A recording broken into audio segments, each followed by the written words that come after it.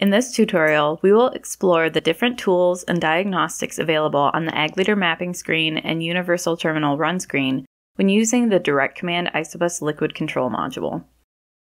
Knowing the location of these tools and diagnostics will improve your ability to properly and efficiently apply liquid products and to quickly identify and troubleshoot issues. With a configuration loaded to the mapping screen, you will see the product name and units for both the target rate and as applied rate in the Rate tab on the upper right. Whenever you use tank mixes, you should verify that what is shown here matches what you want for the proper target rate.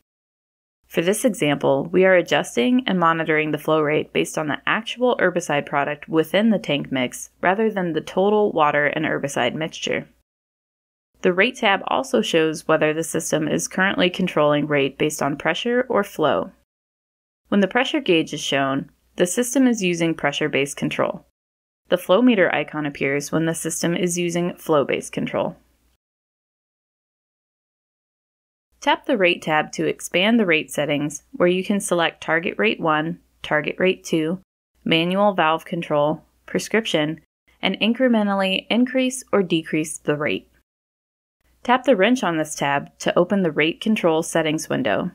In this screen, you can specify the target rates, specify a rate increment for each up and down arrow press, and import a variable rate prescription. Tap the Containers tab.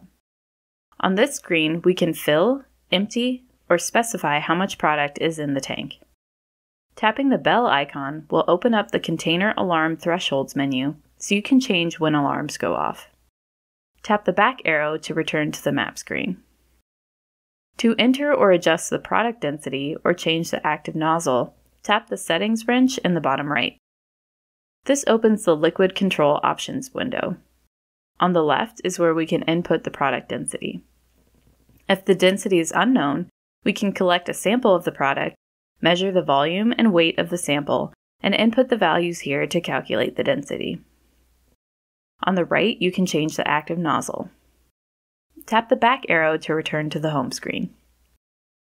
These settings can also be changed through Universal Terminal, and UT is the only place to make these changes when operating with a third-party display. Tap the Universal Terminal button. To enter, adjust, or calculate the product density, tap the product density icon. When using an AgLeader display, this will have to be done from the mapping screen as we showed earlier. To enter or adjust the target rate 1 and target rate 2 values and the increment of each up and down arrow press, tap the target rate. To change the speed source setting or to enter a manual speed to simulate movement for troubleshooting purposes, tap the ground speed. Tap the container icon, which will open four different tabs.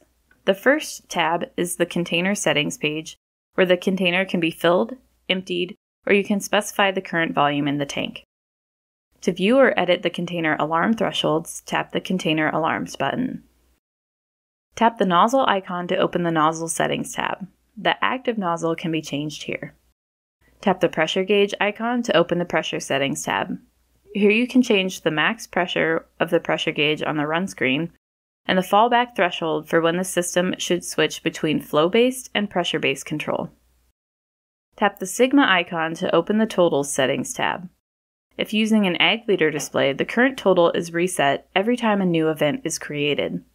If using a non-AgLeader display, the current total has to be reset manually by tapping the Reset Current Totals button. The season totals will only reset by tapping the Reset Season Totals button, regardless of the display the module is connected to. Tap the Running Man to return to the run screen. Tap the wrench on the right side to open the settings screen. Here we can add or edit profiles and nozzles, adjust control valve settings, adjust alarm thresholds, and switch or reconfigure the system. Tap the running man to return to the run screen. On the right side, tap the heart rate icon to open the diagnostics menu. Then tap the module diagnostics menu. Here you can select the AgLeader liquid rate control module or swath control module diagnostics. In these screens, you can view serial numbers, voltage readings, raw sensor readings, and manually control the rate and section valves when troubleshooting an issue. For more information on the settings and operation of the Direct Command Isobus Liquid Control module, please refer to the Direct Command Isobus Liquid Feature User Guide.